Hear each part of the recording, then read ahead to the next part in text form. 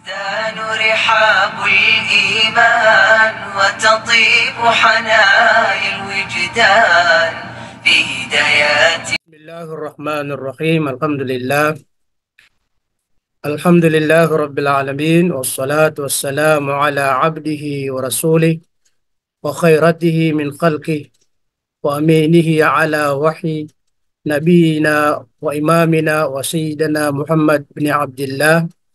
وعلى آله وأصحابه. ومن سلك سبيله واهتدى بهداه إلى يوم الدين. أما بعد يقول الله تبارك وتعالى في الكتاب المنزل بعد أعوذ بالله من الشيطان الرجيم. بسم الله الرحمن الرحيم. يا أيها الذين آمنوا آمنوا بالله ورسوله والكتاب الذي نزل على رسوله والكتاب الذي أنزل من قبل ومن يكفر بالله وملائكته وكتبه ورسله واليوم الآخر فقد ضل ضلالا بعيدا Ah, Alhamdulillah ah, unang-una ho ah, ating ah, pinupuri ang dakilang lumikha ang Allah subhanahu wa ta'ala at nawa ang kapayapaan at ang pagpapalay mapas sa kanyang huling propeta na si Muhammad sallallahu alaihi wasallam at ah, ating pong iniling sa Allah subhanahu wa ta'ala na naway igawad niya po sa atin ang kanyang ah, kapatawaran, ah, kaluguran at ah, tanggapin po niya ang ating mga gawain o tanggapin po niya ang ating mga oras na ibinibigay para sa landas ng Allah subhanahu wa ta'ala. Ah, bali sa ngayon po ang ating pong ah, kumbaga paksa sa araw na ito ay patungkol po sa sabihin po natin akida, may kinalaman sa pananampalataya sa Allah subhanahu wa ta'ala na kung saan na para bang katanungan na paano po palalakasin ating iman o pananampalataya sa Allah subhanahu wa ta'ala. Ah, wag po nating kaligtaan ng ating iman o pananampalataya na sinasabi ay ito po yung isang bagay na sabihin po natin na wala pang hihigit kung gaano kahalaga. Ang iman o pananampalataya ay wala pang uobra na kung saan na dapat ah, makamit ng isang alipi ng Allah subhanahu wa ta'ala. Ang iman o pananampalataya ay hindi natin ito maihahambing sa mga bagay dito sa ibabaw ng lupa. Kumbaga, kung meron tayong mga alam na mga bagay na inisip po natin ay napakahalagang bagay, napakahalagang bagay pero hindi pa rin niya matutumbasan o mahigitan ng pananampalataya sa Allah subhanahu wa ta'ala. Dahil ang iman o pananampalataya sa Allah subhanahu wa ta'ala kapag tinanggap ni Allah at tayo nabawi ng buhay na may kasamang pananampalataya sa Allah subhanahu wa ta'ala. Naniniwala tayo sa nag-iisang tunay na Diyos, ang Allah subhanahu wa ta'ala. Ang kapalit po ay tatanggapin po tayo ng Allah subhanahu wa ta'ala sa kanyang paraiso. Kaya kapag natanggap po tayo sa paraiso ng Allah subhanahu wa ta'ala, ay mamumuhay tayo doon na walang hanggang kaligayahan at kasiyahan dito po sa mundo o sa ibabaw ng lupa, ah mayroon din tayong mga nakakamit na iniisip po natin na mahalagang bagay. Opo, alimbawa maging isa kang pinuno o hari o leader o maging bilyonaryo o mayaman po tayo. Opo. Ah, may pangapanahon pa rin na ito po ay magwawala ito po ay hindi po mananatili. Ibig sabihin, may hangganan po yan. Sa mga oras o sa mga panahon na ito'y aalisin ng Allah subhanahu wa ta'ala at uh, kukunin sa atin, wala pong uh, makakahadlang. Halimbawa, sabihin po natin tulad ng mga kaharian. Di ba, minsan may mga alam po natin na mga bilyonaryo Pero dumating yung punto o panahon na dahil tatanggalin at kukunin ng Allah subhanahu wa ta'ala sa kanila, kaya isang pangyayari lamang ay mawawala at ma, ah, matatanggal po sa atin yan. Subhanallah. Tingnan niyo po, di ba kabago-bago lang ah, mayroon na pangyayari sa Dubai. Di ba na ano sila ng baha. Ilan ng mga sasakyan na mga nasira. At ilan ng mga kumbaga sabihin natin mga sabihin makamunong bagay na, na ah, nasira at nawala. So ang ibig sabihin, ang mga bagay-bagay dito sa mundo ay sabihin po natin panandalian lamang. Ito yung sinasabi na ah uh, dhalika mata'ul hayati dunya.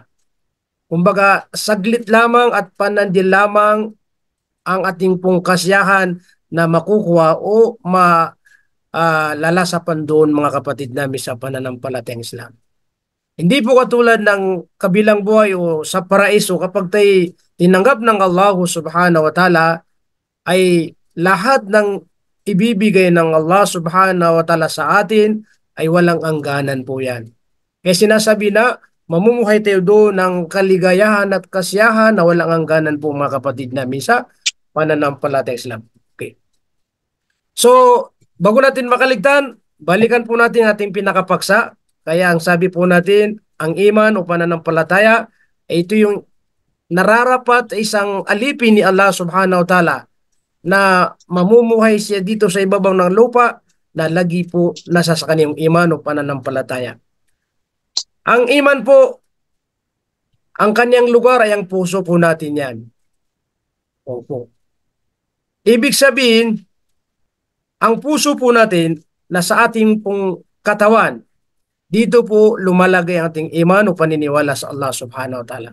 Kaya sabi nga ng ating mahal na propeta Muhammad sallallahu alaihi wasallam na kung saan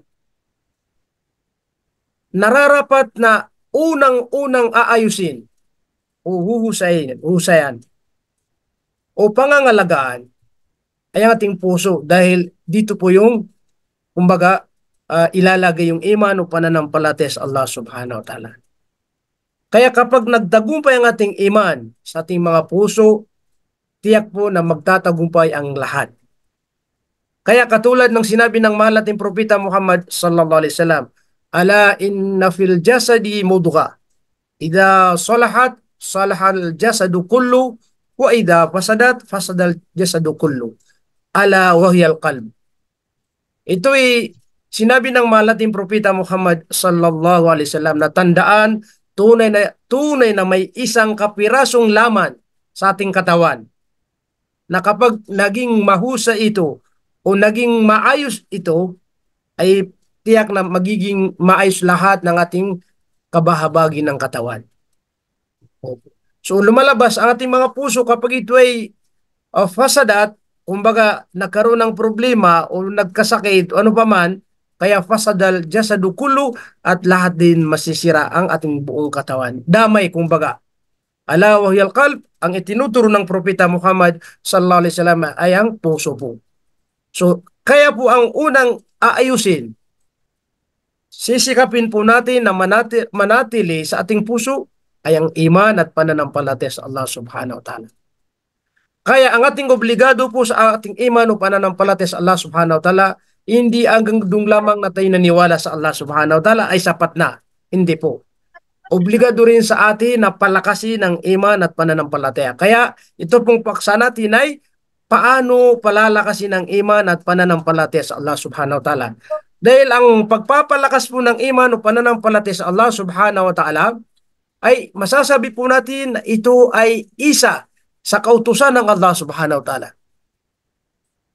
Yung aya kanina na binanggit natin, ang tinutukoy po niya ay palalakasin po ang ating iman. Kaya isa sa kautusan ng Allah subhanahu wa ta'ala ay palakasin ng iman.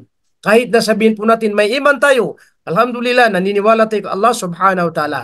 Pero utos pa rin ni Allah na palakasin ng iman at paniniwala po sa Kanya. Kaya yung aya na sinabi ng Allah subhanahu wa ta'ala, Bismillahirrahmanirrahim, Ya ayyuhalladhina amanu. O kayong mga mananampalataya. So may iman tayo, may paniniwala tayo sa Allah subhanahu wa ta'ala. Pero tingnan yung kasunod na salita. Aminu billah. At maniwala kayo sa Allah subhanahu wa ta'ala. May paniniwala tayo, pero inutusan pa rin tayo na aminu billah at maniwala, manampalataya sa Allah subhanahu wa ta'ala. So 'di ba sabi ng mga scholar, isa ring tinutukoy na palakasin mo ang iyong iman o paniniwala sa Allah subhanahu wa ta'ala. At hindi lang si Allah na sinabi ng mahal nating propeta Muhammad at uh, sinabi ng Allah subhanahu wa ta'ala na mahalin siya kundi wa rasuli pati rin ang kaniyang kumbaga ipinadala na huling sugat propeta na kung saan si Muhammad sallallahu alaihi wasallam. Wal kitabil ladhi nazzala ala rasuli. At paritirin yung isang aklat o isang libro kitab na ibinaba kay Propeta Muhammad sallallahu alaihi wasallam na kung saan ang banal na Quran. Kasama rin po yan sa paniniwalaan na sinabi ng Allah subhanahu wa ta'ala. Wal kitabil ladhi anzala min qabl at pati rin yung mga libro o aklat na mga uh, sina unang ipinadala ng Allah subhanahu wa ta'ala. Halimbawa yung uh, Zabur pinadala kay uh, David, ang uh, Torah pinadala kay ipinahayag kay Musa alayhi salatu wasalam, yung suhub ay pinahayag kay uh, uh, Abraham o Ibrahim alayhi salatu wasalam, sinatawag na uh, kalatas at ipinahayag kay Isa alayhi salatu wasalam na kung saan ang Injil, opo, Ebanghelyo kumbaga, at ang pinakahuling sugo ay ang ano po, uh, ipinahayag kay Muhammad sallallahu alaihi wasallam. Ang ibig sabihin, nararapat sa isang naniniwala kay Allah na lahat niya ito paniwalaan. Itong mga nabanggit po natin na mga naunang kapahayagan na ipinahayag ng Allah subhanahu wa ta'ala. Kaya may babalang Allah subhanahu wa ta'ala, malaikatihi wa kutubihi wa rusulihi wal yawmil akhir. Kung sino man ang magtakwil na hindi maniwala kay Allah subhanahu wa ta'ala, hindi maniwala sa kaniyang mga anggil, at hindi maniwala sa mga kapahayagan ng mga kasulatan na ipinahayag ng Allah subhanahu wa ta'ala, at hindi maniwala sa kaniyang mga sugo na ipinadala, subhanallah, at hindi maniwala sa kabilang buhay, fakadaw dwalaw dwalalang ba'ida, katotohanan sila'y, kumbaga, uh, nasa ligaw ng ligaw na ligaw na kumbaga pinakamalayong ligaw. Ibig sabihin doon mga kapatid namin sa pananampalataya, si, excuse, sila mga hindi naniwala sa mga nabanggit. Sila ay nasa ligaw na buhay. Ibig sabihin, ma, napakalayo sila sa gabay at tatnubay ng Allah subhanahu wa ta'ala. Kaya mga kapatid namin sa pananampalataya. Kaya nararapat na patatagin ng iman at palalakasin ng iman dahil pag lumakas ang ating iman, magiging dahilan na magiging handa po tayo sa mga kautusan ng Allah subhanahu wa ta'ala. Pag lumakas ang iman, hindi natin papipilian ang mga kautusan ng Allah subhanahu wa ta'ala. Kaya may mga tao hanggang ngayon, may mga sinusunod sila sa mga kautusan ng Allah subhanahu wa ta'ala. Pero yung iba na mga kautusan ng Allah subhanahu wa ta'ala hindi nila ginagawa.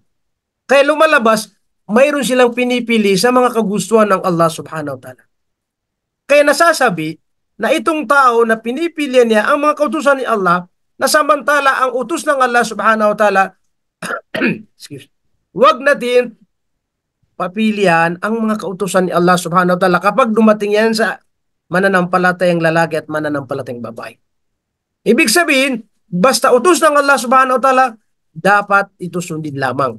Pero bakit may mga tao na may sinusunod na mga kautusan ng Allah subhanahu wa ta'ala pero mayroong mga sinusuway ng mga kautusan ng Allah. Lumalabas, hindi po malakas ang kanyang iman. Di ba sa kasalukuyan ngayon? Uh, sa social media, na minsan may mga tinitira ang mga Muslim, mismo sa, bakit si ganito? Born Muslim, bakit si ganito? yung haram kanyang ginagawa, di ba kayong mas nakakaalam diyan? Kasi lagi natin po nakikita sa social media. Mus Muslim yan, kaya minsan pa nagkakaroon ng pagtatalo-talo. Bakit kami mga balik Islam dati-dati riyan, dati ratiyan yan ang gaway namin. Yumakap kami ng Islam kay iniwan namin yan, pero kayong mga Muslim, kayo ang gumagawa. Ang ibig sabihin, mga kapatid, namin sa pananampalataya Islam, may paniniwala sila kay Allah subhanahu wa ta'ala. Kasi ikaw mismong nagsabi for Muslim, di ba? Kaso lang dahil sa iman, sa kahinaan ng iman at pananampalataya, kaya mayroon pa rin patuloy na kahit na for Muslim ay gumagawa pa rin ng hindi kalugod-lugod sa Allah subhanahu wa ta'ala. Kaya ang ating tungkulin po lamang ay magparating sa mga tao, sabihin sa kanila yung tama at mali pero nasa sa kanila pa rin sila pa rin ang magpapasya kung sila ay magbabago buhay o sila ay tatahak sa matuwid na landas o sila ay talagang yayakap ng Islam ng buong buo. Kasi sabihin po natin yung katotohanan, ganun po yun. May balik Islam, may bur Muslim, sabi nga nila, na mayroon pa rin nagagawa ng mga masasama. Bakit? Dahil hindi pa rin lumakas ang pananampalataya ng isang tao. Kaya sabi po natin, obligado na lumakas ang iman kasi kapag lumakas ang iman po natin, magiging madali sa atin na gawin ang mga ipinag-utos ng Allah subhanahu wa ta'ala. Kaya sabihin po natin, may dahilan kung bakit hindi po naisatutupad ang gawain na kautusan ng Allah subhanahu wa ta'ala. Kaya mga kapatid namin sa pananampalatayang Islam, magbabanggit tayo ng ilan, no? Kung paano lalakas ang ating iman o pananampalataya sa Allah subhanahu wa ta'ala. Sa katunayan po, ito ay isa bagay na mahirap gawin at hindi agad-agad ay nakukuha ito po ang isipin nyo. Kaya may nagsabi po na isang scholar. isang kaugalian na kung saan makakamit ng isang tao yung isang bagay na kanyang inihiling o kanyang uh, kagustuhan sa pamamagitan ng magsusumikap po siya. Gagawin niya yung mga kondisyon bago lang siya dumating doon sa punto na yon o bago niya makamit ang kanyang pinapangarap o inahangad. Alimbawa, maging ikaw isang tunay na doktor, maging isa kang tunay na engineer o ano pa yung mga uh, kurso po na ating kumbaga uh, kinukuha. Di ba, hindi ito agad-agad makukuha kung hindi ka magsusumikap muna. Kung hindi muna gawin yung mga kondisyon o mga daan para makarating na doon sa iyong hinahangad. Di ba po? Kaya kung yun po ay binibigyan mo ng pansin, pinagsusumikap po man mo, yung makamunong bagay lamang. Paano kaya yung iman na ito ay mapapakinabangan dito sa mundo at igitsalat sa kabilang buhay?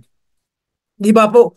Mas dapat higit na pagsumikap pa po natin itong sinasabi po natin na paano lumakas ang iman at paniniwala sa Allah subhanahu wa ta'ala. Dahil ito'y sigurado na iyong makakasama pagdating sa kabilang buhay. E kung ikaw ay nagsumikap dito sa mundo para makamit yung mga bagay na yun, ano pa kayong iman? Kaya yung iman kung paano lumakas, paano uh, maging malakas uh, iman natin, kaya gawin po natin kung ano po yung mga sinabi ng mga eskolar na nasasaad sa banal na Quran o sa hadith ng Propeta Muhammad sallallahu alaihi wasallam para lumakas ang ating iman. Pero wala pong mahirap.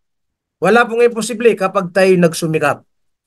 Kaya magbabanggit ito ng ilan mga kapatid namin sa pananampalatayang Islam na kung saan tungkol sa paano palalakasin ng iman at pananampalataya sa Allah subhanahu wa ta'ala uh, depende po sa oras po natin. Uh, kung kaya po natin bagitin lahat, alhamdulillah. Kung hindi, basta lang makabanggit tayo ng ilan at kung hindi natin po matapos, pwede natin ipagpatuloy sa uh, next na Sunday po o next na pag-aaral. Una po mga kapatid namin sa pananampalatayang Islam. Ang sabi po ng mga eskolar, para lumakas ang iman po natin, ay tadabbaru ayatil Qur'anil Karim magkaroon ka ng pagmumuni-muni sa mga talata ng Allah subhanahu wa ta'ala. Ang ibig sabihin, mga talata mula sa banal na Quran. Pag sinabi na pagmumuni-muni, siyempre kasama po yung sinasabi po natin na pinag-aaralan. At ito ay binabasa. Kung anong ibig pagkaulugan, At pag nalaman po ito, ito ay isinasabuhay. Hindi lang basta mag-isip ka na pinagmumuni-muni ang Quran, ito ay salita ng Allah. Hindi po. Kaya, inaalam mo kung anong ipagkahulugan. Ano ang mga utos sa banal na Quran? Anong mga ipinagbawal sa sa Quran? Ito ay pinagmumuni-muni mo yan. So, ibig sabihin, kapag isang mananampalataya sa Allah at ito ay kanyang ginagawa, ginagawa na nagbibigay siya ng oras na pagmumuni-muni sa mga ayat, sa mga salita ng Allah subhanahu wa ta'ala sa Quran, binabasa at inaalam, sinusuri, tiyak po na magkakaroon tayo ng malakas na pananampalataya sa Allah subhanahu wa ta'ala. Eh paano, lalakas ang ating iman? Eh hanggang ngayon, hindi pa rin nakabasa yung iba. Hindi na nababasa nung paano bas basahin ng Quran. Hindi na binibigyan ng oras. Puro sa trabaho, puro sa trabaho. Wala siyang oras sa pagtingin sa banal na Quran. Anong ibig pagkaulungan kahit na yung mga kaulugat? Walang oras. Kaya yung isang dahilan para lumakas ang iman po natin, hindi natin nagagawa, kaya yung nga, nararamdaman po natin sa mga puso sa sarili na hindi lumalakas ang ating iman. Lalong humihina pa. Bumababa, kumbaga. Pero, sa oras natin magbigay ng oras na talagang magmumuni-muni, aalamin po natin, aralin po natin at binabasa po natin ang banal na Quran, tiyak at sigurado nalalakas po ang ating pananampalataya sa Allah subhanahu wa ta'ala. Kaya ang patunay po natin mismo ang Allah subhanahu wa ta'ala nagsabi, Bismillahirrahmanirrahim. Wa idha tuliyat alaihim ayatuhu zadathum imana wa ala rabbihim yatawakkalun. Ito ay sinabi mismo ng Allah subhanahu wa ta'ala suratul Anfal numero 2 na kapag binabasa nila ang Quran, yun ang ibig sabihin, binabasa nila ang Quran, inaalam nila ang Quran, inaalam nila ang Quran, pinag-aral nila ang Quran. Allahu Akbar. Sa kanilang pagbabasa sa Quran na ito, sa pagmumunim sa Quran na ito ay zadathum imana. Nadadagdagan ang kanilang iman. Ang ibig sabihin, lumalakas ang kanilang pananampalataya sa Allah subhanahu wa ta'ala.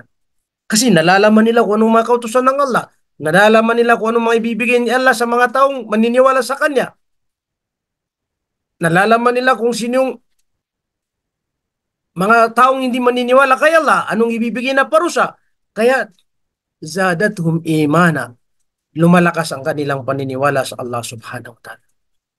At hindi lang doon, wa ala rabbim at sila ay talagang nagtitiwala sila o nananalig sila sa kanilang Panginoon.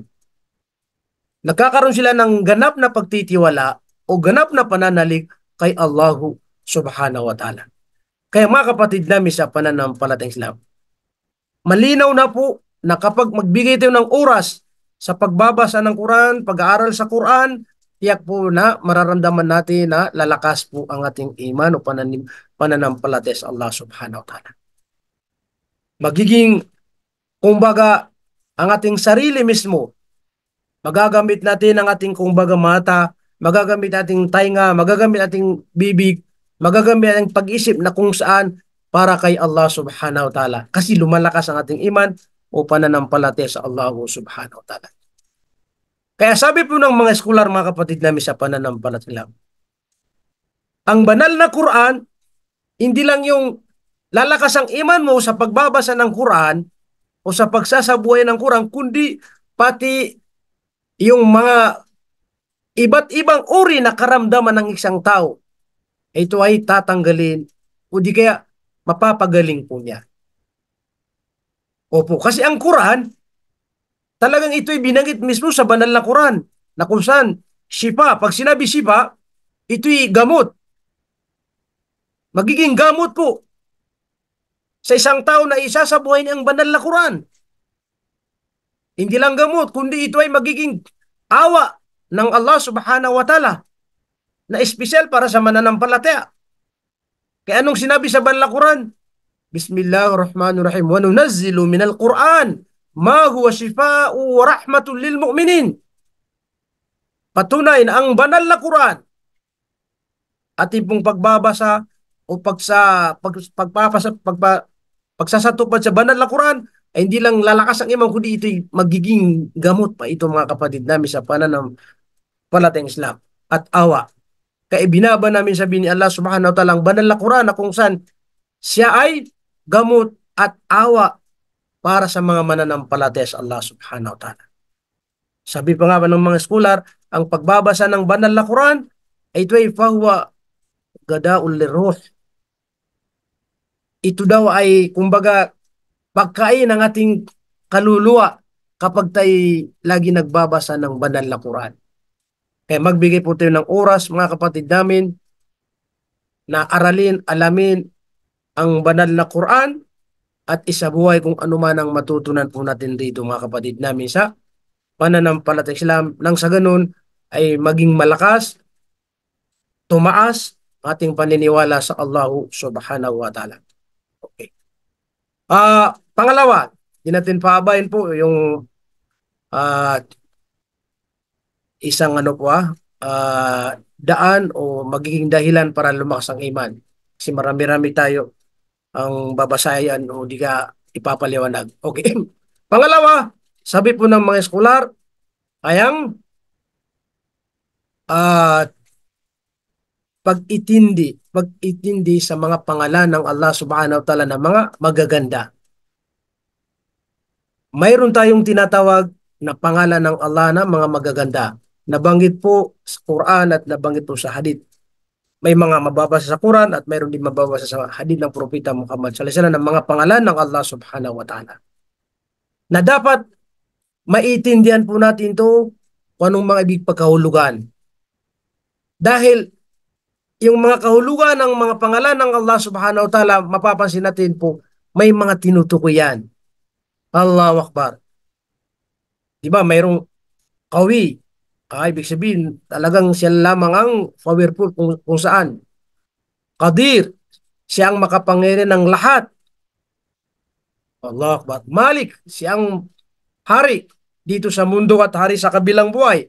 Mga pangalan ng Allah subhanahu wa ta'ala. Na ito'y nararapat po na kung baga aalamin po natin din at aalamin ko anong ibig pagkaulugan at ano po yung mga tinutukoy po mga kapatid namin sa pananampalatay Islam. Nabanggit po sa hadith na mayroong 99 names of Allah subhanahu wa ta'ala. Kaya ang Rasulullah sallallahu alaihi wasallam ay nagsabi, inna lillahi tis'ataw wa tis'ina isma. Miyata illa wahida. Man aksaha dakhala al-jannah. Katotohanan sabi ng propeta Muhammad sallallahu alaihi wasallam, mayroon pangalan ng Allah subhanahu wa ta'ala na 99. Tis'ata wa. Na kung saan isa lang ay magiging 100 na. Miatan illa wahida isa lang ay magiging 100. Pero anong sabi ng Propeta Muhammad sallallahu alaihi wasallam? Man aksaha dakhala al-jannah. Napakasimple. Itong 99 names of Allah ay ipinangako ng Propeta Muhammad sallallahu alaihi wasallam kung sino man ang mga laga rito. Sa 99 names of Allah subhanahu wa ta'ala, dakhala al-jannah. Kung sino man ang magsaulo rito, kung sino man ang magsabuhay rito, kung anong napapalob sa mga pangalan ng Allah subhanahu wa ta'ala, dakhalal jannah. Kaya sabi po ng mga mufassirin, sabi po ng mga scholar, na kung saan hindi lang ang tinutukoy, nakahulugan po ng sinabi ng Propeta Muhammad sallallahu alaihi wasallam ay uh, man hafidhaha. Kung sino man ang magsaulo rito. Kasi kung pagsasaulo, Mari na ma- maraming makapagsaulo dyan. Di ba? Maraming makapagsaulo kasi 19 Ar-Rahman, Ar-Rahim, Al-Malik, Al-Qudus. Napakadali kung baka kung isa sa kasi 99 na kalima o salita ng mga pangalan ng Allah subhanahu wa ta'ala. Kaya sabi ni Propeta Muhammad sallallahu alaihi wasallam, man ahsaha dakhlal jannah. Kung sino man ang makasaulo rito at mga laga rito ay papasok sa paraiso. Kaya yun ang tanong. Kung ako ay isa sa ulo ko, Di ba? Hanggang doon lamang at hindi ko to isasabuhay kung anong napapaloob sa mga kahulugan ng Allah. At hindi ko pina, mga kahulugan ng pangalan ng Allah hindi ko ito pinaniniwalaan. makapasok ba tayo sa paraiso? Ayun. Sigurado hindi. Sigurado hindi kasi al-jannatu la yadkhuluha illa al-mu'minun. Malinaw na ang mga uh, ang paraiso ay walang makapapasok sa paraiso maliban lamang sa mga mananampalates Allah subhanahu wa ta'ala. Kasi kung yan ang basihan, mari na yung hindi maniniwala, hindi mananampalataya kay Allah, isaulo nila kasi yan, ang ang bilis pala may isawa pasok sa ay, pagpasok ng paraiso kasi isa sa ulo mo yung 99 na pangalan ng Allah subhanahu wa ta'ala. Hindi. Kaya hindi lang pag sa ulo, kundi unawahin anong ibig pagkahulugan at ito ay paniwalaan. At gawin kung ano yung pautos doon sa kung saan mga pangalan ng Allah subhanahu wa ta'ala sa kanilang makakapasok sa paraiso. Halimbawa, pangalan ng Allah, nandun yung wahid. Di ba? Yung ahadun samad. Mga pangalan, iisa lang tunay na Diyos. Eh, hindi ka naniwala sa kaya Allah, nag-isa siya ng tunay na Diyos. Paano po tayo makakapasok sa paraiso? Allah. Gafurur Rahim. At Tauba, mga pangalan ng Allah. Siya ang tumatanggap, nagbibigay ng kapatawaran sa mga taong nagbabalik loob sa Kanya.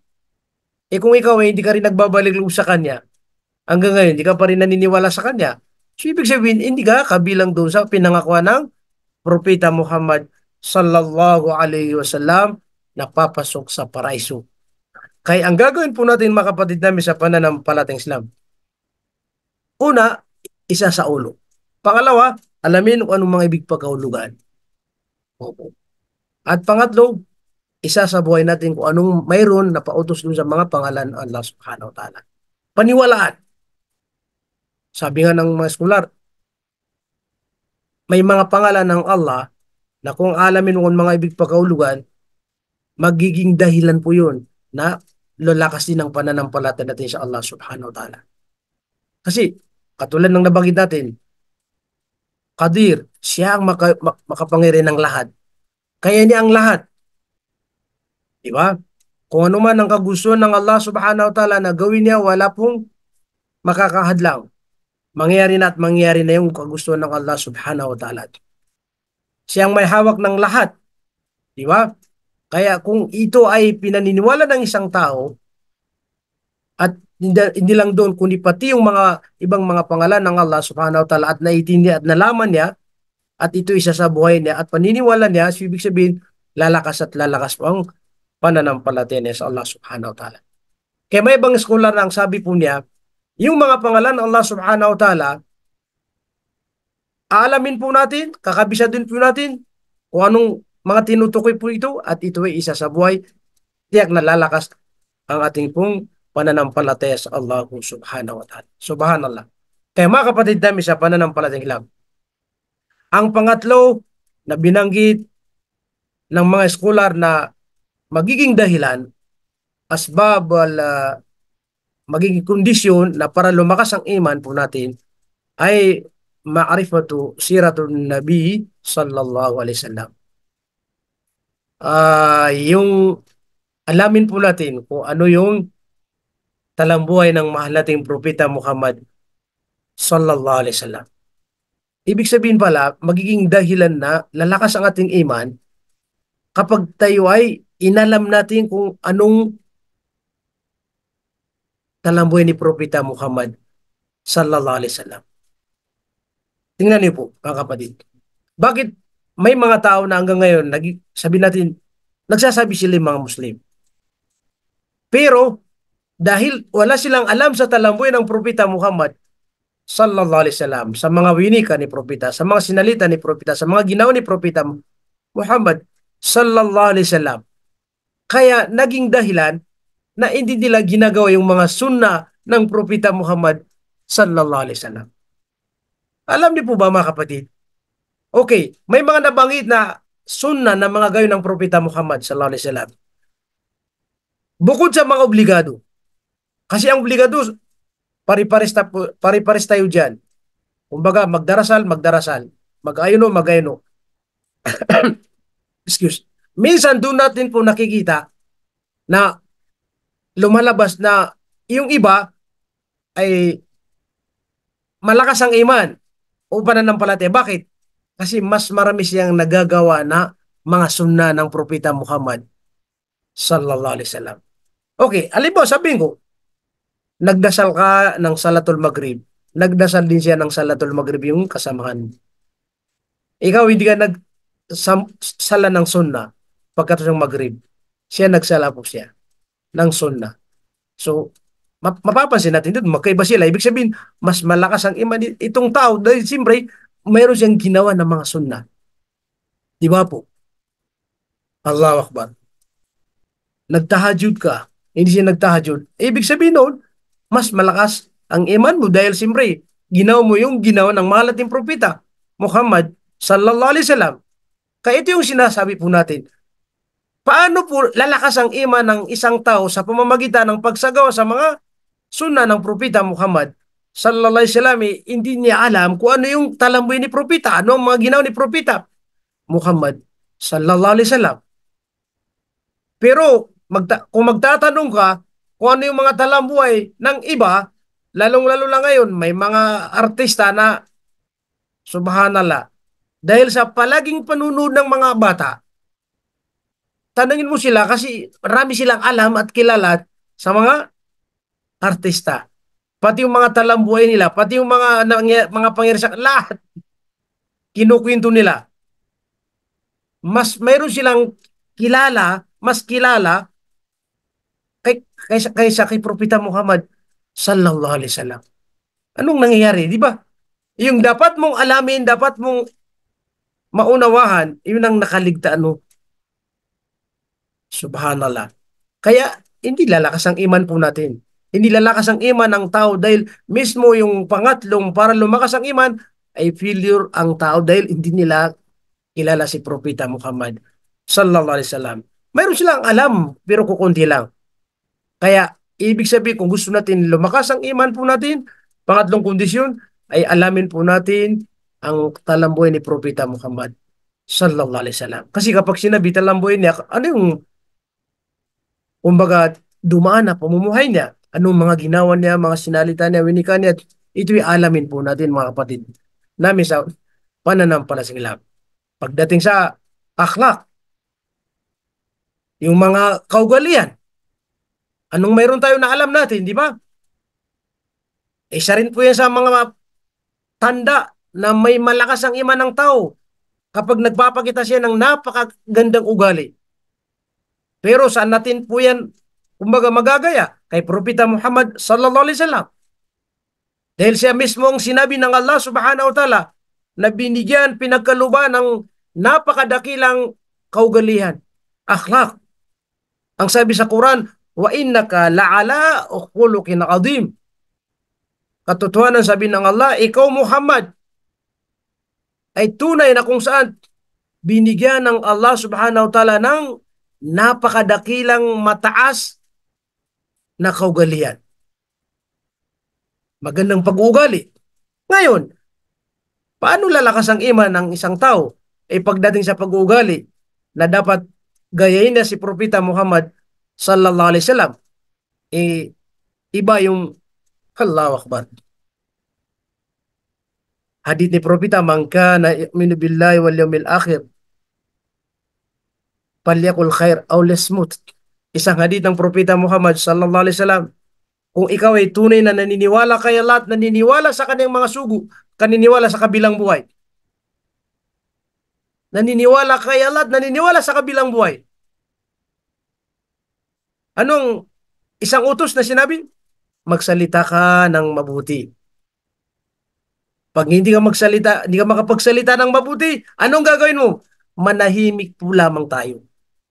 Manahimik ay anong nangyayari? Hindi makakapagsalita ng mabuti, hindi na nanahimik, pero panay salita, salita ng mga masasama, hanggang sa nangyayari mismo sa social media, nagtatalo-talo, nagbabangayan, nagsa, nagbibitaw ng mga salitang mga masasama. Sasabihin mo, lumalakas ang iman mo. Sasabihin mo, lumalakas ang pananampalata mo.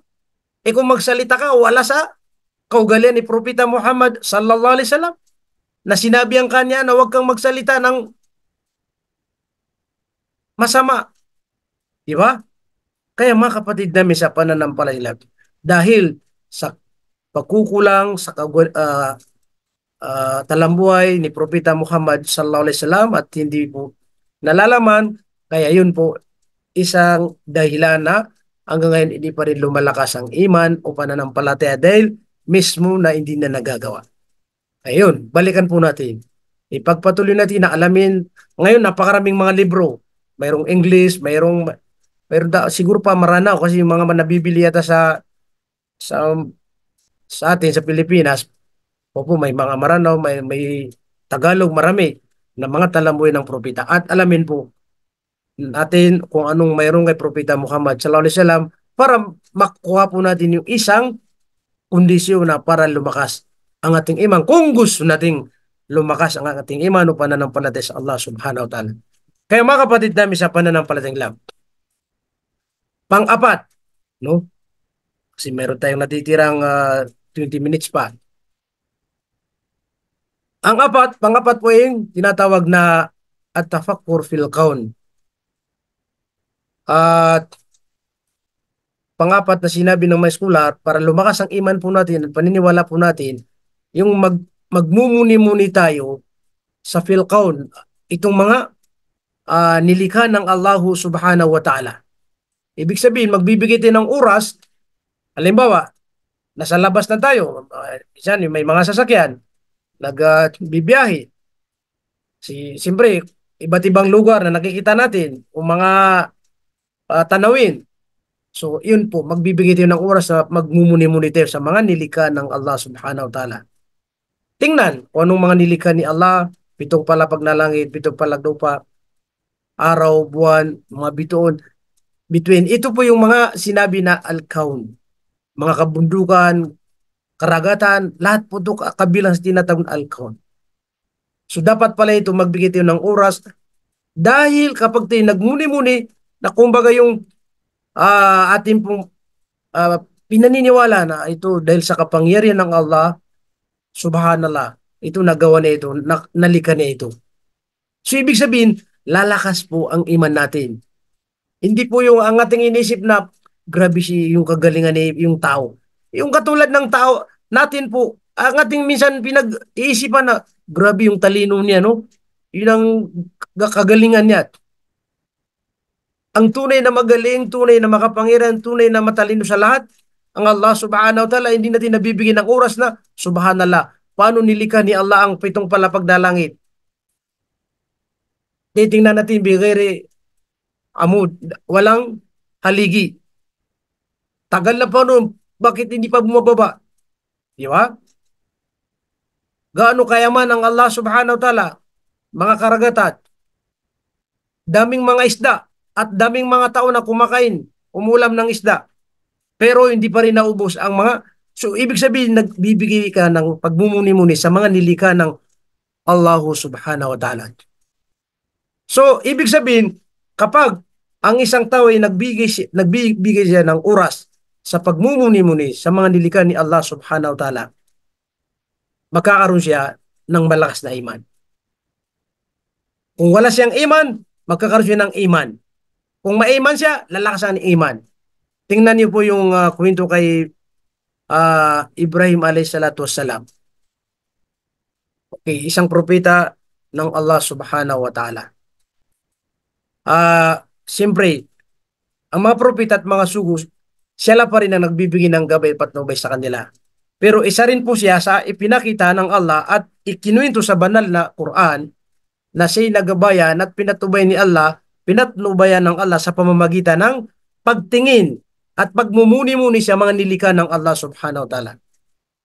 Di ba yung nabanggit po sa banal na Quran, Bismillahirrahmanirrahim, falamma janna alay layl, ra'a kawkaba, qala hadha rabbi. Uh, sa Quran to po, kumbaga isinalasin ng Allah o kinuwento ng Allah subhanahu wa ta'ala. Nang gabi na yon ay uh, kumbaga uh, sabihin po natin yung uh, lumabas na yung mga between kaukaba. At nakita ni Ibrahim alayhi salatu salam at ang kanyang sinabi, Hada Rabbi. ito sabi niya ang aking Diyos. Kasi sabi daw ng mga scholar, nakita niya, siyempre, daming mga liwanag. Di ba, mga bituin yan, daming mga liwanag. Sabi niya, ito yung, ah kumbaga, ah Diyos. Siya ang nagsabi mo, Qala hada Rabbi. Falamma afala, qala la uhibul afilin. Siyempre, pag sumunod ang ar- araw po, nawala na yung mga bituin. Kaya nung nawala ng mga bituin, kaya sabi niya, falamma afala, at nang nawala ang mga bituin, ang sabi niya, la uhibul afilin. Ah, hindi ko na ginugo, hindi ko na minamahal. Opo, yung nawawala. So, ibig sabihin, pag mumuni-muni yun, mawala, ah, sabi na, hindi yun ang Diyos kasi hindi ko gusto yung afilin. Ibig sabihin, nawawala. Falamma ra'a al-qamara basiga, qala hadha rabbi. At nang sumunod na gabi po at nakita niya yung tinatawag na buwan, ka, ah, kamar. Siyempre, pagdating sa liwanag, mas maliwanag din ang ah, buwan kasi siyempre may kalakihan, di ba? Yun ang tinutukoy niya. Kaya, qala hadha rabbi. At nagsabi rin na naman na ito ang aking kumbaga Diyos. Yun ang kanyang pagmumuni-muni at yun ang nag-decide sa kanyang sarili, ito ang aking Diyos. Lakin falamma afala qala la illam yahdini rabbi la lakuna na minal qawmi. Nagsabi siya nung nawala at sabi niya kung hindi ako patnubayan ni Allah subhanahu wa ta'ala, kung hindi ako patnubayan ng aking tunay na Diyos, sigurado tiyak ako ay mapapabilang sa mga taong ligaw, mga naligaw. Pagmumuni-muni po yun. Tingnan niyo po. Nakaupo siya, tumitingin lamang sa kalangitan, siya mismong sarili niya, kinakausap niya. Ito yung tinatang na at-tafakur fil kaun. Nagmumuni-muni siya, nagsasabi siya kung ano yung subhanallah. Kaya nakapag-decide sa pangalawa, sabi niya kung hindi ako patnubayan ng Allah subhanahu wa ta'ala, hindi ko patnubayan ng aking tunay na Diyos, kasi may inisip niya ng tunay na Diyos. Kasi siyempre, nang nakita niya, yung mga bituin sa una, sabi niya, may Diyos na naglikha rito. Sa una, tapos yun ang sinabi niya, ito yung Diyos ko, kumbaga, uh, ng mga bituin na, na naisip niya. Pero, pangalawa, yun ang nangyari. Nakapag-decide na, hindi yun. Hanggang sa, sinabi ng Allah subhanahu wa ta'ala, falamma ra'asyamsa basika, qala hada rabbi, hada akbar.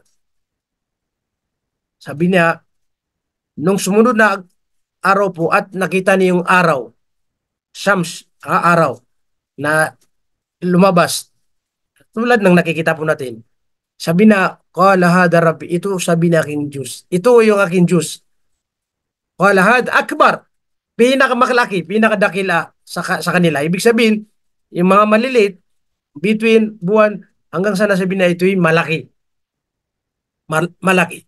Nang sabi niya na malaki, Falamma afalat qala ya qaumi inni bari'um mimma tusyrikun. Mga kapatid namin sa pananampalataya. Nang nawala na naman kasi siyempre nawala naman yung araw kasi hindi na nanatili po. Eh, pag sumunod, pumalitang susunod na araw, nawawala rin. Kaya makapapansin nyo, parang paikot-ikot lang po yan. Pakitang buwan, pakitang buwan, tapos araw, tuloy-tuloy naman yan. Kaya nung nawala po yung araw na sinasabi niya na ito yung malaki, na ito aking Diyos ang kanyang sinabi kung saan aking mga aking mga tagasunod o mga tahuan. Ako ay uh, malaya ko sa inyo sa inyong kumbaga uh, sinasamba na iba. Ibig sabihin, tusrikon. Dahil nung sa kapanahonan yon, siyempre yung mga uh, tao doon sa panahon niya, hindi sila sumasamba kay Allah subhanahu wa ta'ala, nagtatambal po sila. Kaya doon siya nagsabi na malaya ko sa inyo. Ibig sabihin, hindi niyo ako kasama. Dahil kayo nagtatambal, kayo ang bala, magtambal kayo. Pero ako hindi. Ang aking tunay na Diyos na tinutukoy ay yung mga naglika sa lahat na aking mga nakikita. So doon siya nakapagpasya na ang tunay na Diyos ay ang mga naglika doon sa mga nakita niya po mga kapatid namin sa pananampalataya. Isang dahilan na nakapagpasya po siya na may tunay na Diyos, ang Allah subhanahu wa ta'ala naglika sa mga nakita po niya. So ibig sabihin mga kapatid namin sa pananampalataya, ang pagbibigay ng oras sa pagmumuni-muni sa mga nilikha ng Allah subhanahu wa ta'ala, kung wala kang iman, mabibigyan nga ng iman tulad ni Ibrahim alayhi salatu wasalam. Kasi Kaya kinuto sa banal na Quran dahil para malaman po natin na talagang ang pagmumuni-muni ay isang mahalagang gawain. Sabi nga ng isang scholar, ang mga propeta at mga sugo, lahat sila yan. Meron silang gawain na at tafakur. Ang tafakur, isang scholar na nagpaliwanag, sabi niya, yung nakaupo ka, tapos mag-imagination ka, ano yung mga nilikha ni Allah, tapos sasabihin grabe, ang tagapaglikha makapangyarihan sa lahat. Grabe ang tagapaglikha maalam. Grabe ang tagapaglikha maawain. Grabe ang tagapag mahabagin. So ibig sabihin, ibinibigay mo sa kanya kung ano yung mga katangian. Tapos nagdi-decide ka. Wala kang ibang inisip. Si Allah lamang. Grabe si Allah subhanahu wa ta'ala. Ang talagang tagapagbigay ng rizki. Lahat. Buhay, kabuhay, lahat. Dahil kayang-kaya niya lahat ito. So mga kapatid namin sa pananampalatayang Islam. Iyan po ang sinasabi ng mga scholar na kung saan ano po, uh, uh, pang-apat na para lumakas ang ating iman o paniniwala sa Allah subhanahu wa ta'ala.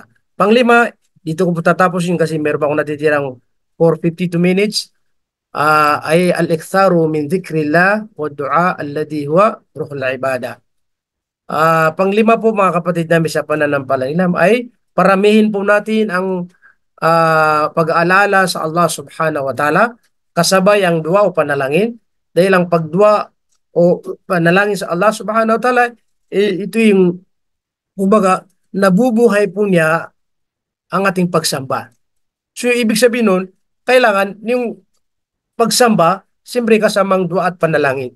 Kaya tingnan niyo po, lahat ng ginagawa natin, di ba may mga dua o panalangin? Magdarasal po tayo, may mga dua panalangin.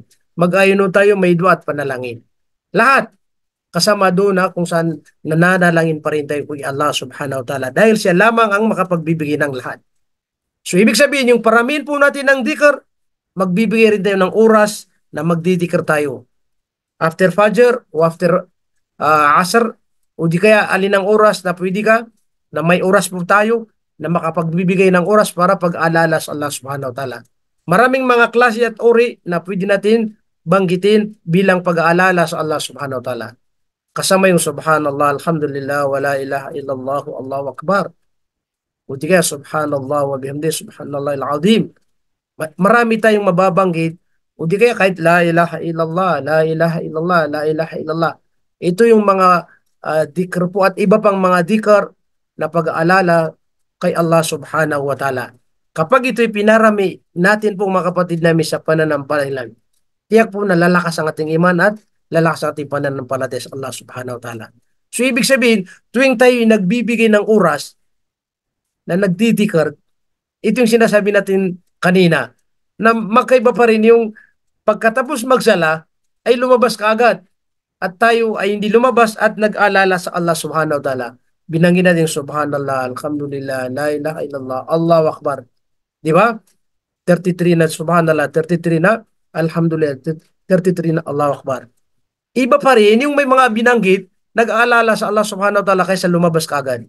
At bukod doon, katulad ng mga ibang mga gawain na alimbawa, nagpapayo ka sa masjid at nag-aalala ka sa Allah subhanahu nagdidikir ka. Or umuwi ka na sa bahay kaagad, tapos pagdating sa bahay, umupo ka doon sa isang lugar na ibinigay mo sa sarili mo, na doon ka naggumagaw ng mga sunna, tapos doon ka nagpapatuloy ng dikir. Marami tayong mga kapatid sa pananampalatayang Islam na lagi nagbibigay ng oras ng pagdidikar po. Opo. Dahil ang pagdidikar ito ay magiging dahilan na lagi tayo kumbaga uh, inaalala ng Allah subhanahu wa ta'ala. Fadkuruni at kurkum. Ang sabi po ng Allah subhanahu wa ta'ala, kumbaga alalahanin niyo ako at ako rin ay alalin. Ibig sabihin ng mga kapatid sa pananampalatayang Islam, ang pagdidikar, pagbibigay ng dikar ay uh, mananatili na buhay tayo sa Allah subhanahu wa ta'ala. Yung hindi nagtitikar. Kaya ang sabi sa uh, sa hadith ng propeta Muhammad sallallahu alaihi wasallam na kung saan uh, ang kahalintulad ng namatay no at saka yung uh, hindi namatay parang yun ang ibig sabihin nun ay katulad din ng taong nagtitikar sa Allah subhanahu wa ta'ala at hindi nag alala sa Allah subhanahu wa ta'ala. So ibig sabihin, ang isang tao kapag siya lagi nag-aalala sa Allah subhanahu wa ta'ala, buhay siya sa paningin ng Allah subhanahu wa ta'ala. Pero yung mga hindi nagdidik, hindi nag-aalala uh, sa Allah subhanahu wa ta'ala, kailanman hindi nagbibigay sila ng oras, sila ay parang mga patay sa paningin ng Allah subhanahu wa ta'ala. Sa madaling sabi, ito yung mga uh, na, nababanggit ng mga saba kapag sila mayroong digmaan, hindi sila takot makipaglaban kasi inisip nila itong mga tao walang ala, walang pag-aalala sa Allah subhanahu wa ta'ala. Ibig sabihin mga patay sila sa paningin ni Allah. Kami mga nag-aalala sa Allah subhanahu wa ta'ala kaya buhay kami. Kaya yun ang dahilan kung bakit isa rin sila na nabanggit na pagdating sa digmaan mga malalakas po sila walang takot at saka gusto pa nila mamatay dahil alam po nila na kapag namatay sila sa landas ng Allah subhanahu wa ta'ala may paraiso po na nag-iinday mga kapatid namin sa pananampalataya Islam. Mga kapatid namin sa pananampalataya Islam. Uh, dito ko po uh, tatapusin kasi tamang-tama for uh, ah, 57 din. Sana po ay mayroon tayong napulot na aral sa aking ibinahagi patungkol po sa uh, paano palalakasin ng iman at pananampalataya at mayroon pa tayong mga hindi nabanggit. Opo, uh, maaaring na sa susunod, inshallah po, pwede natin ipagpatuloy. Gawin natin na uh, part 2 po, ito ay part 1. So ulitin natin po, yung una ay kailangan po ay magmumuni-muni tayo sa Quran, basahin at alamin. Opo. At uh, siyempre, uh, pangalawa po, yung sinasabi po natin na uh, alamin natin, uh, itindin po natin, unawain po natin ang mga pangalan ng Allah subhanahu wa ta'ala na nabanggit sa banal na Quran at sa hadith. At pangatlo, siyempre, yung talamoy ng Propeta Muhammad sallallahu alaihi wasallam ay mapag-aralan po natin na ma maaari na malaman natin ang buo kumbaga kasi maging dahilan po yan na para lumas ang iman at pangapat yung uh, pagmumuni-muni sa mga nilika ng Allah subhanahu wa ta'ala maging sanhi po yan na lalakas iman at panglima ay paramihin ang pagdidikar, pag-aalala sa Allah subhanahu wa ta'ala na may kasamang dua, uh, panalangin, lagi din nanalangin sa Allah subhanahu wa ta'ala. Uh, hanggang dito po lamang. Uh, wa akhiru da'wana alhamdulillah rabbil alamin. Wassalamualaikum warahmatullahi wabarakatuh. Uh, kung mayroong uh, habol po na magtatanong, uh, pwede natin bigyan ng ilang minuto inshallah. Sino po ang may katanungan po?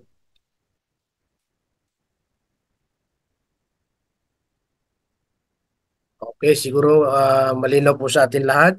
Uh, naway, uh, tanggapin po ni Allah subhanahu wa ta'ala ang ating mga oras na ibinibigay at uh, naway manatili at uh, maging palagyan po tayo na nakakapagbigay ng oras para sa landas ng Allah subhanahu wa ta'ala dahil mga kapatid namin sa pananampalataya alam po natin lahat na ang ating pong mga gawain ng mga pagsamba ay ito po lamang ating masasandalan po pagdating sa kabilang buhay at madadala po natin sa kabilang buhay kaya mapalad, masyurte ang mga taong maraming nagawa ng mga pagsamba sa para kay Allah subhanahu wa ta'ala.